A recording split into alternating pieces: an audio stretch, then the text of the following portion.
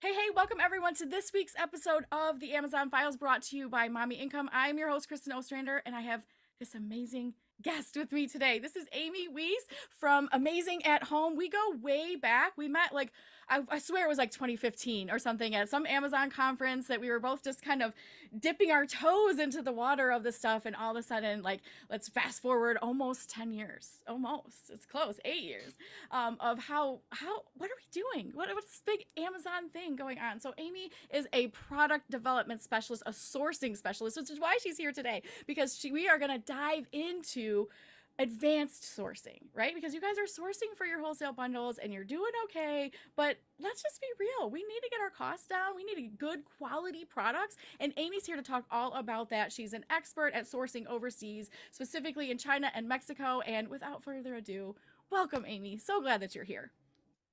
Thank you, Kristin, for having me. It's been, you know, too long since we've reconnected and I'm excited today to add some value for your listeners. Um, I know sourcing is something that all of us, including myself, you know, I'm a seller as well, um, have struggled with over the years, but it's something that if you can get down, it can change everything for your business. So excited to be here today and and talk about this. So let's get right into it. So give us a little bit of your own selling journey, your background. I know you're an inventor. I know you have your own products, everything. So get everybody just the the the bird's eye view of, of you and your your journey so far. Yeah, so I started selling on Amazon in 2007 when I was in the United States Air Force and I was flipping my college textbooks I was actually looking to buy college textbooks for cheaper because they're so darn expensive, right? And I saw this little button on Amazon that said sell yours here. And so I was like, oh, cool, you know. And then I started flipping other things. I was like selling whatever, right? Like whatever I could, whatever I could find, I was selling on Amazon, making my own packaging, merchant fulfilling back then. Um, and then um, I took a little break from it. I got stationed in Hawaii. And um, back then, you know, it was very expensive to ship from Hawaii. It was hard. So I, I couldn't do the same things that I was doing before. I started an Etsy business while I was in Hawaii, painting um, wine glasses and beer steins. And that's how I got to know Etsy. And um, I learned that the creator like make your own products business is very hard and very time consuming and for not a lot of payoff unless you can sell something for a very high price right? Uh, but it was still a unique and awesome experience. And then in 2017 i returned here to san antonio texas and i came up with an idea for a product that solved a problem for cleaning the litter box for cats. Um, I didn't like the smell, I didn't like the chore. And so I got to work inventing a better solution. And um, I launched that product. Well, first, before I launched that product, um, we started doing all kinds of different models because Amazon had changed, right? So uh, we realized, okay, the FBA is out now. Like it's a totally different world. We know we can launch on Amazon because my account's there and I've you know got some experience there, but like totally different now. And you know, in 2015, 2016, 2017, that's when the most millionaires were made because the FBA model came out and everybody was selling this way. Um, and so when I got into it in 2017, I was like, okay, things have changed. I need to figure this out, right? So I started doing retail arbitrage to learn. I did wholesale to learn. I was doing some wholesale bundles. I was securing wholesale suppliers in the US. I got really good at closing deals. I'm a really great copywriter, so I would call up these wholesale companies, these these different brands, and I would be like, "Hey, this is what your competitors doing on Amazon and this is what why you're missing out. Um, I want to sell your products. Let's go. Or I'm already selling your products through a distributor. I'm selling the heck out of your products. How can I, you know, make more? But honestly, Kristin, I got so frustrated because I would create these unique listings and people would just jump on them with their own bundles, right? And it was or their own multi-packs and i were put in all this work and then you know somebody else had the same supplier that i had just secured and it was very frustrating. So I was glad to have my private label thing that I was developing. I got my brand on the market in 2018 and it was like end of 2017 i was selling the whole time wholesale these other things doing retail arbitrage um, and then i launched my own brand and i sourced that from the us as well as china. So i launched three products. Um, i'm still selling um, two of them today. Um, and uh, from there i found the process of sourcing of inventing a product and bringing it to market to be very hard and frustrating and there wasn't a lot of good education out there there was a lot of here's alibaba and how you find something but not here's if you have an idea for a product here's how you bring it to market here's how you get better prices from your suppliers here's how you you know whatever. And so from there, I just kind of went on this journey to figure it out myself and help as many other people as I could along the way. That is so awesome and so needed because once you kind of dip your toes in and you get a little bit good, like this is, I think, a lot of where our listeners are, right? Right where you were before you discovered hey, there's a better way to do this. There's, you know, and figuring it out on your own. That was me in my Amazon journey as well. When I was going through, you know, of course, started with thrifting and arbitrage and things like that, and then moving into wholesale and being extremely disappointed. And of course, this is rewinding many years back as well. It's like not in 2023, things are way different than we kind of when we started and, and did some things. Um, but same type of thing is discovering like there's not a whole lot of education on this. There's not a whole lot of help. I have to kind of bumble and stumble and figure out which is the best business model. Of course, that's when I landed on wholesale bundling. When the wholesale was great and I was doing okay, but it was so it was volume dense. It was like you must move a lot of product and manage a lot of SKUs and do all this just to kind of tip the scales and, and make a decent living. I'm like, well, this can't be the way, you know? And so when I started bundling, that's when I realized, hey, I can put a lot more meat on my bone for myself, sourcing multiple different things and creating these bundles and kits. Um, but then come, comes the point where, okay, we get these discontinued items, or you're making something custom and then the price skyrockets for some reason. So that's where that's where you come in to kind of educate us and tell us how do we reach beyond, okay, so there's some of the basics of yeah, we can get wholesale suppliers, look at catalogs, this and that. But when we want to get real serious about um, making this work, how do we start going about that? Because obviously you have figured out this journey and you're going to lay the land for us. Um, what was one of the first steps that you had to realize is something has to be different? I, I can do this a different way. What am I going to do? Well, I think the first thing was the first major milestone that really changed things for me was actually going to China. So I partnered with a friend and um, who had been to China many times, and um, I hosted my very first China trip. And I had never been before, so I invited people to kind of come with me on this journey of like, oh my gosh, we're going to China, right? And this was in 2018, and China seemed so far away to me. It seemed so crazy to go. I was actually pretty afraid. Um, but I was sourcing from Alibaba basically, and nothing wrong with Alibaba. Alibaba's amazing. I'm about to speak at their very first co-create conference in Vegas coming up here in a few weeks.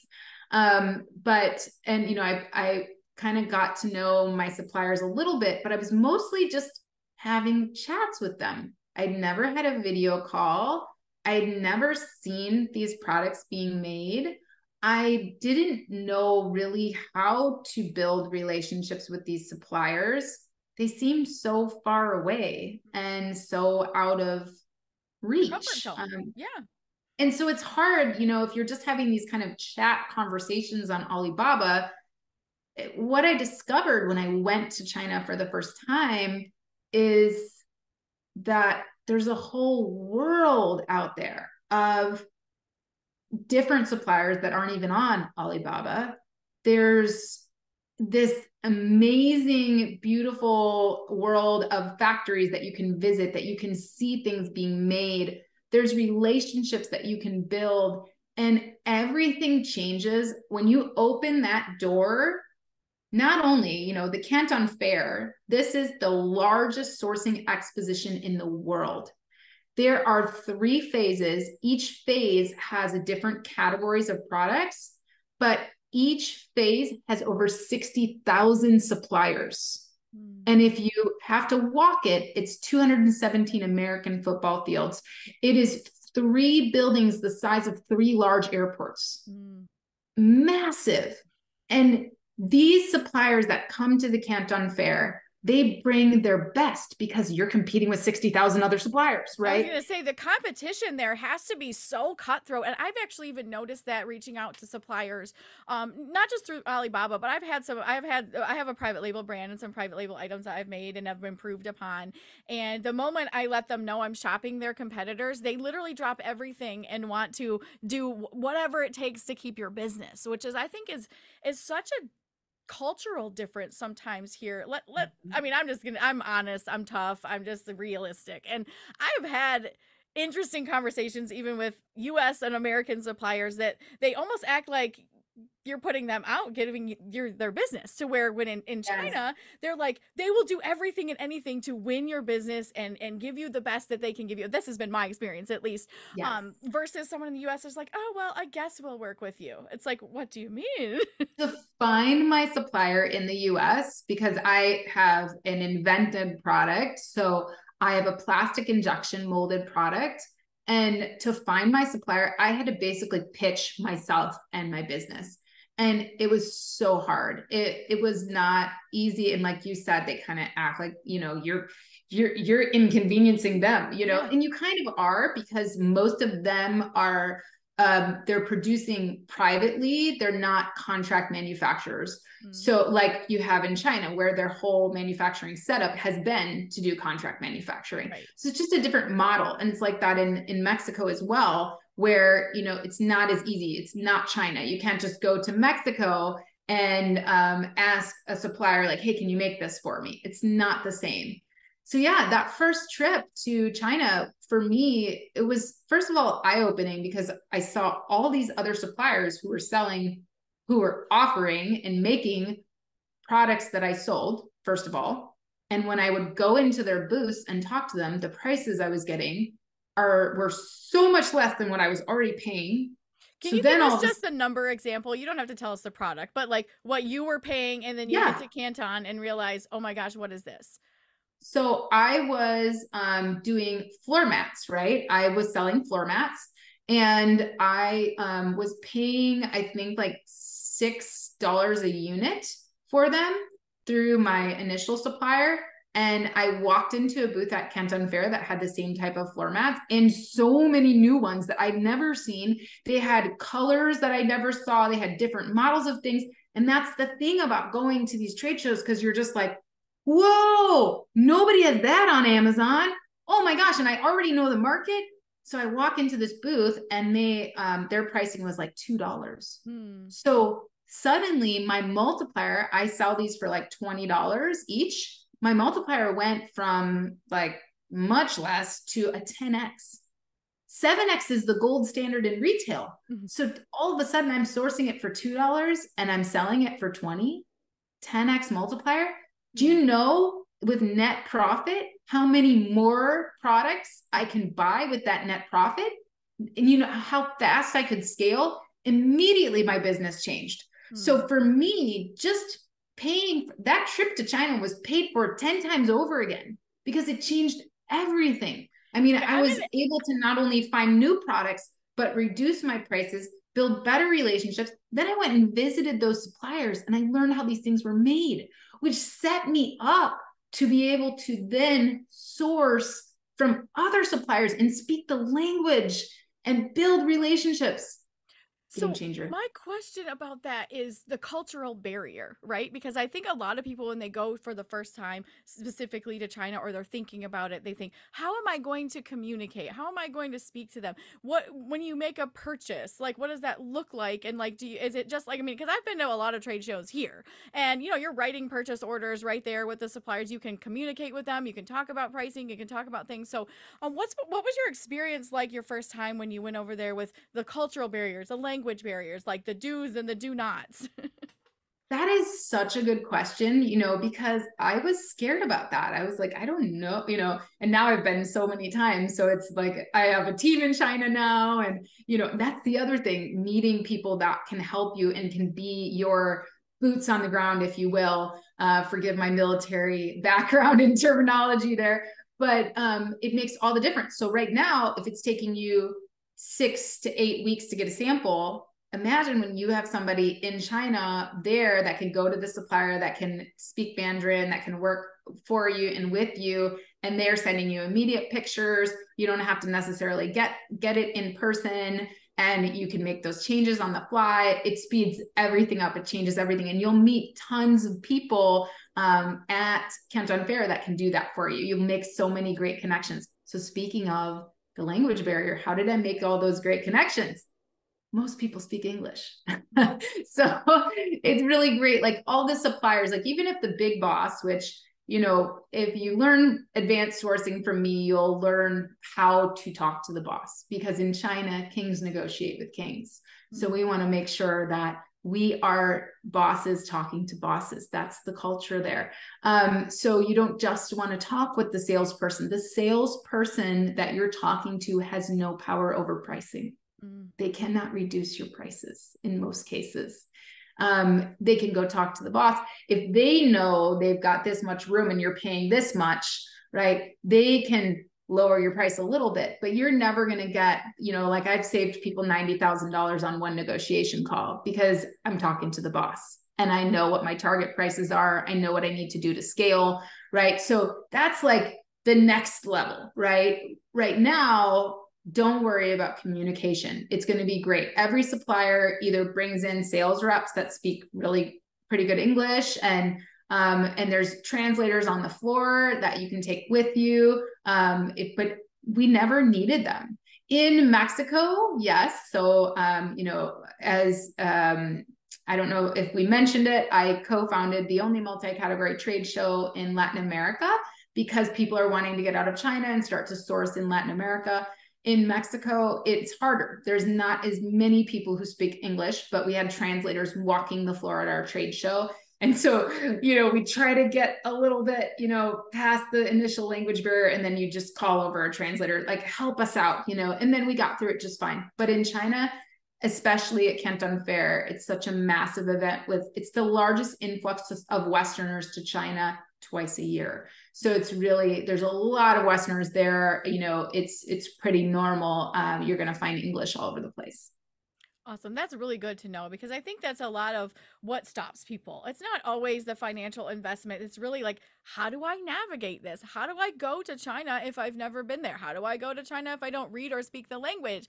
And you can't expect everyone to speak English on your behalf. I mean, you're going into their culture, right? And so I love hearing you say that. And I, of course, that is a selfish question as well because I have never been to China. I do want to go. I just those are the things that are that are on my mind that scare me more than anything else. But I also haven't had that experience that you've had of um, when I was creating my first private label product, and I didn't go there, but I reached out to multiple suppliers, and then the conversations that we were able to have there, and the different pictures and the different things that they sent back to me. So we didn't even have to do that wait for a sample and get it here. I mean, eventually I did, but the pictures and everything were very initial, and we could say no, change this, do this.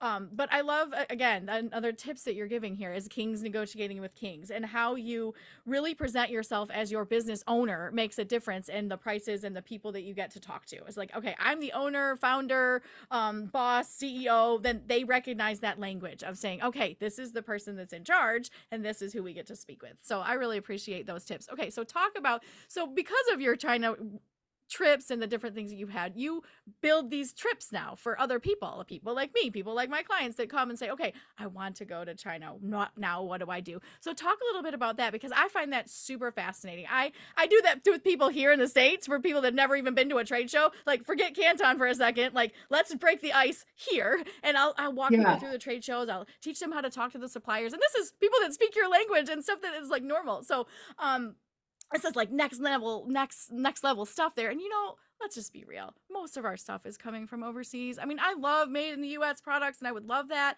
but i've checked into it and i just can't seem to find anything that's a reasonable enough price for me to be able to make a profit. And i'm in business. And as much as i would love to keep all the business here um the reality is is that most of the stuff is made overseas. And if we if that's where they're making it that's where we need to go and find out um you know how we can get that. So question is how do you make that transition how do you take that big leap from being like okay i've got my feet wet with with sourcing here let's see if we can make that big leap into um, sourcing in china well of course it seems really out of reach. And also, we hear all these things about China. We hear that, you know, it, the government is crazy and this, it's so controlled. And, you know, I mean, me with my military background, it was definitely nerve wracking. it was nerve wracking to go. I had this vision of like, what is China like? Like, you know, is it going to be like, I kind of had this vision of like gloom and doom, you know, yeah. like okay, like what are these hotels going to be like? Are they going to be like torture? And, you know, is, am I going to be able to get around? And is it safe? And, you know, and so what is wonderful about putting on a trip is you remove all of those barriers for people. Okay. You may like when you get there, all you have to think about if you come to China with me, all you have to think about is booking your flight and getting your visa. And I help you with all of that. So that's it. That's all you have to worry about is getting to the airport in Guangzhou. And that's a very, there's huge airport, you know, very easy to get to, right? Um, and so you get to the airport and we have somebody there with a sign. The minute you get out of customs, we have somebody there with a sign with a private car to take you to the hotel so that you're not like, oh, how do I get around around here? What do I do? You know, you'll see a big sign with your name on it and you'll be taken off to the hotel. Now, the other cool thing about Guangzhou is it's a huge city. Most of the cities in China are much bigger than anything we have in the US. And um, the transportation is great. It's very, um, it's it's like any other big city around the world. At night, everything lights up. It's beautiful. There's amazing restaurants and there's a great nightlife. And I think when you think about I don't know, but for me, when I thought about China, I I expected it to be different, you know? And then when we went out to these huge like beautiful restaurants and had uh, drinks at the at the nightclub and just it was like whoa, okay, this place is actually really cool and it's really fun. There's parks everywhere, there's rivers. Uh, we're going to go on a Pearl River cruise. We're going to go on some city tours. There's some beautiful buildings to explore.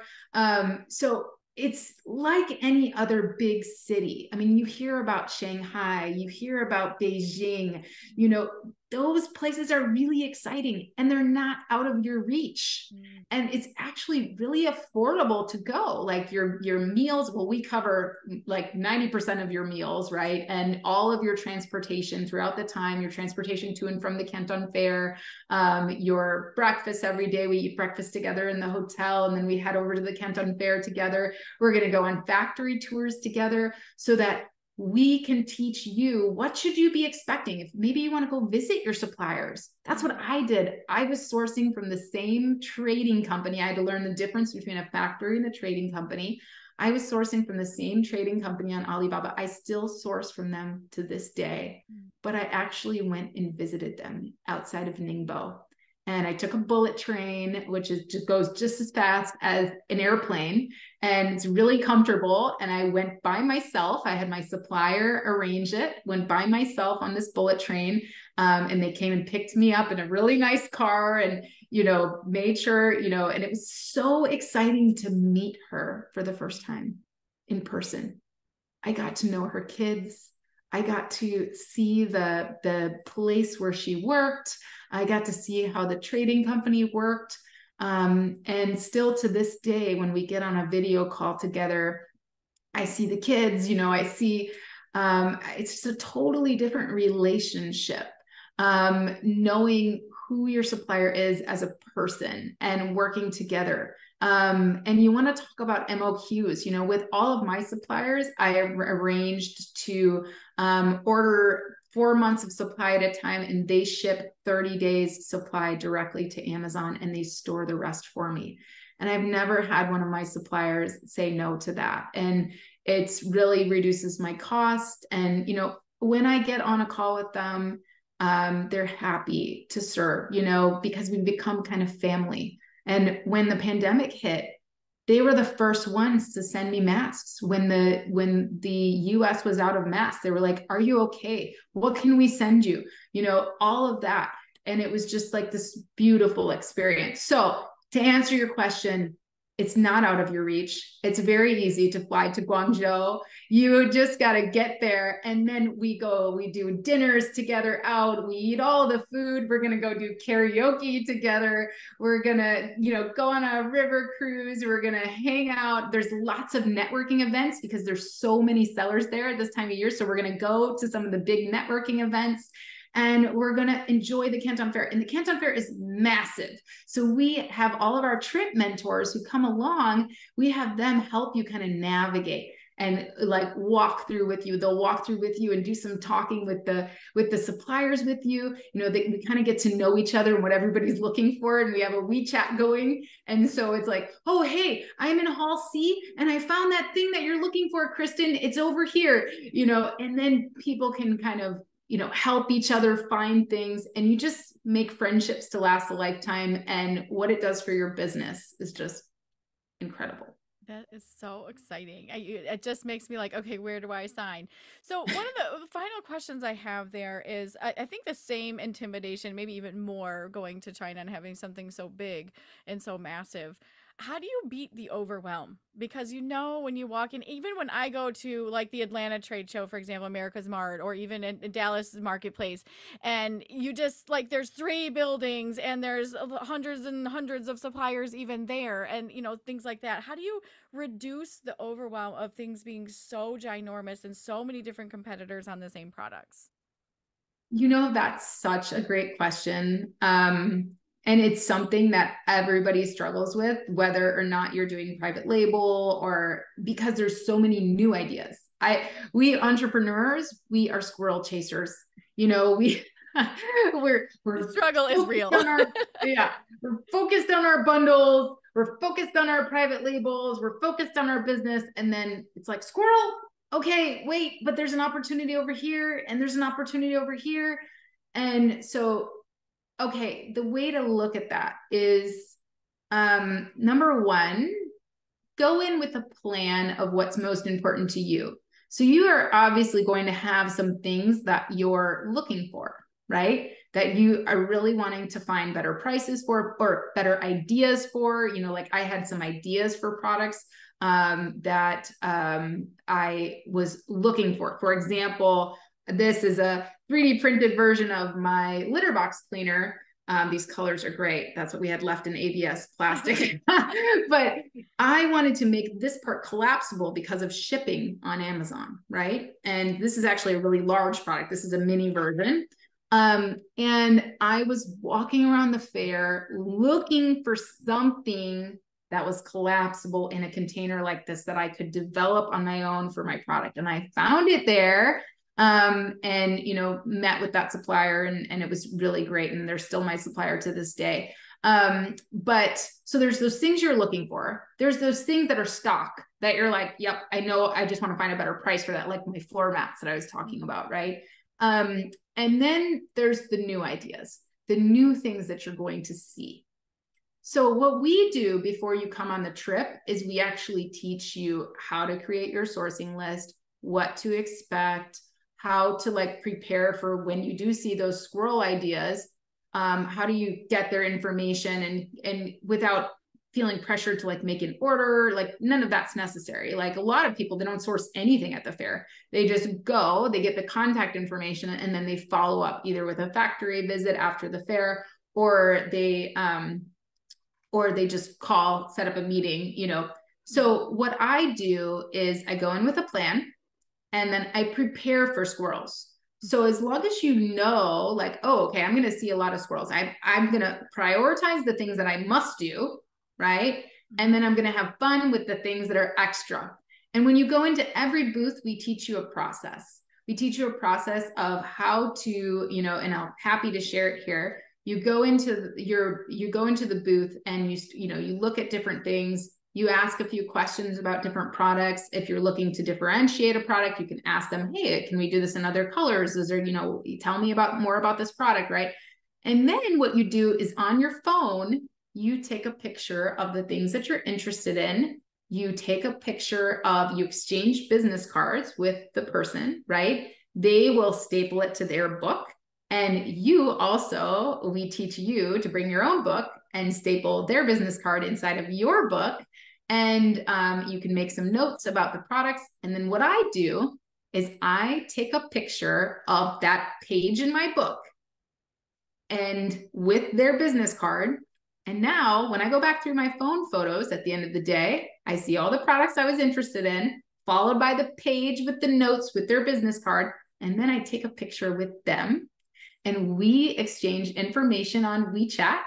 And I send them the picture of us. And then when I follow back up with them, I know who they are and they know who I am because we have the picture together from the Canton Fair. Um, and it's very easy because that's also in my phone. Oh, here's the person that I met there. Here's their name. Here was their business card. Let me go ahead and follow back up on WeChat with them and let's start that conversation again. Awesome. That is really cool. I love that extra step of taking a picture with the person. I know we do very similar things when we do our walkthroughs and the trade shows there about taking the business card and stapling it either to the catalog or a picture of what you took. And I know that's a little bit different to where I, I found that the Chinese suppliers, like I've, I've met several of them in Source Direct and ASD. So when they were having that, and they had so it's kind of like this mini sample of mm-hmm. like the different Chinese manufacturers that kind of come over and kind of work with you there. And there was that was one of the things that that I did but stapling that and keeping that and showing the picture. So I love the picture with the person because now that's another personal connection. Now that's something that I love that you've said throughout all this whole conversation is really it's about these relationships. It's about establishing like just because there's a language or culture barrier does not mean that we can't establish relationships with people. They're just people like us. They're just doing this side of business and we're doing this side of business and we're coming together. So I just love how this is all so relational and so helpful. So when is the next trip? yeah, so we're actually going in October. Uh, we're going the October 24th through November 2nd. So we'll be at the Canton Fair during a part of phase two and a part of phase three. And phase two and three are um, the most popular categories. So you have like home and kitchen and bathroom and sporting goods and you name it, it's there. Um, so you're going to office supplies and furniture and pets and this is like everything you can imagine so many suppliers um yeah and i just wanted to mention one other thing um you were talking about um you know making those connections. One thing that a lot of people have asked me about that they struggle with is wait but if i'm not going to source from them like I, if i'm not sure i'm going to source from them like won't they be offended if like i don't follow up? No it is beautiful to keep those connections. So I have a few connections that I made that were super extra helpful. Like, hey, you should go here in China and you should see this. And like we became good friends. And when I go back to the Canton Fair, I still message them and I say, Hey, I'm here. Are you at the fair? Like, let's get together. Let's let me come by your booth, you know? And we've been friends all these years. It never hurts to have additional friends in China. You can get them to refer you to different factories, you know, all that kind of stuff. So I just wanted to add don't be afraid to make a contact with somebody, even if you're just talking and you're like, oh man, I'm, probably not going to source from them. It's okay. Make a contact, make a friend, you know, and you you may have a friend that needs that exact product and you can refer. And so just look at it as building your network and have fun so yes that i just want to add that because that's something a lot of people are concerned with. But our next trip is october 24th through november 2nd and if you're planning on coming you can you can um, visit our landing page. It's amazingathome.com forward slash china. And um, if you're planning if you're thinking about coming if you're even thinking about the possibility of coming to china um, the one thing that you should keep in mind is you need a visa to visit China. It's a very easy process. The Canton Fair is free to attend for buyers. Uh, you go on their website and you get an invitation letter.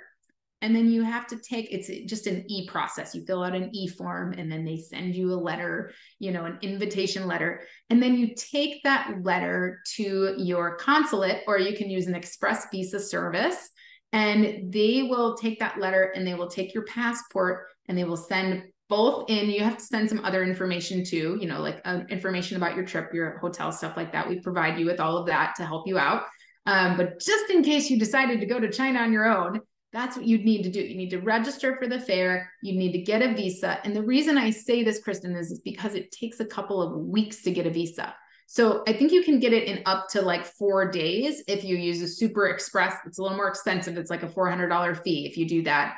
But um, if you just do the normal like two weeks, it's like $100 and you know they can get it back to you. But you do have to send your passport away for two weeks and then it comes back with like a page like glued in, you hmm. know, um, okay. and that visa allows you to visit again and again for 10 years. Awesome. So you just have to do that once. But it's if you're like thinking about passport, time, once you get a passport, it's good for 10 years. Once you get this visa, that's great to know. Thank you so much for sharing all of these tips because I think it really eases the the the anxiety that people have about traveling and traveling overseas and of course now post covid people are 10 times more scared to go anywhere on a plane or a, a cruise or anything like that it's like oh my gosh um but the reality is is that these guys don't miss this. These are scary but they're also people that have been there done that. I mean like i at this point after this conversation would go anywhere with you because you just know you're, you're just you just make me feel at ease be like it's gonna be fine. It's gonna be fine. So um let's go to china with amy and amazing at home. And you guys if you're interested again she said amazingathome.com forward slash china. Check out the trip. Um i'm considering that's actually like right after my birthday and that would be kind of a fun birthday trip um if my husband can let me me go to China without him. I'd be like, maybe you need to come with me. That would be a lot of fun. Um, he's not interested at all in in the e-commerce world. He's like, that's your world, babe. But um, I think maybe that would be just a fun experience. I mean, you've talked about the nightlife and the restaurants. Forget the fair.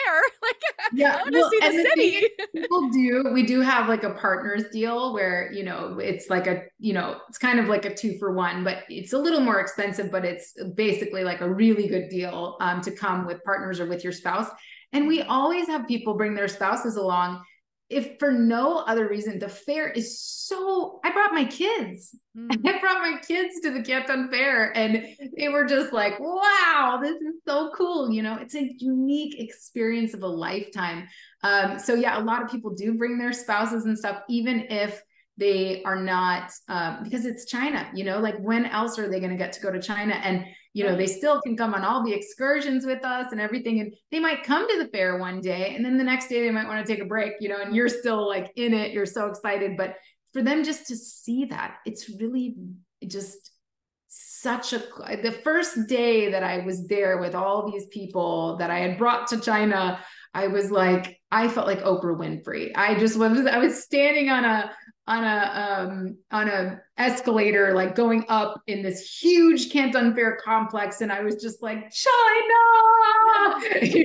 It was so cool you know and everybody else you know their eyes were so big and we were all just alive with the possibilities of what this could mean for us. And for sure like I still remember every one of those people who came on my first trip and my second trip. I'm still in contact with them today. When you do something like that together it just it changes things, it does. right? It really forms a bond that you can, you know, number one, like get rid of some of those fears and anxieties of I can't or I won't or I'm I'm scared. It's okay to be scared. You just got to do it. And you got to do it and figure it out, you know, and it's helpful when you can go with someone who has gone and done and figured it out. So you guys again, amazingathome.com is where you can find Amy and all of the amazing things that she is done. You guys, this is a brilliant woman here. You have to make sure that you're following her and consider the China trip or if China's a little too big and scary for you, perhaps um, the uh, Mexico trip because I know they're doing Mexico trips as well throughout the year, uh, different sourcing trips. You guys, these sourcing trips are so much fun.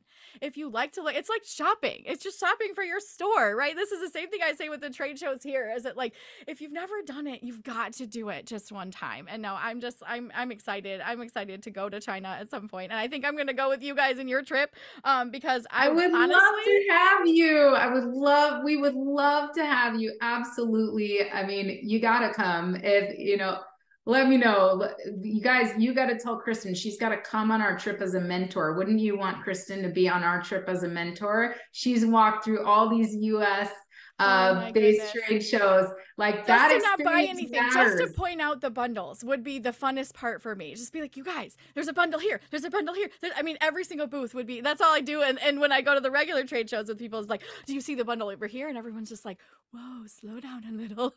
just like, and that's no, how I was products. too.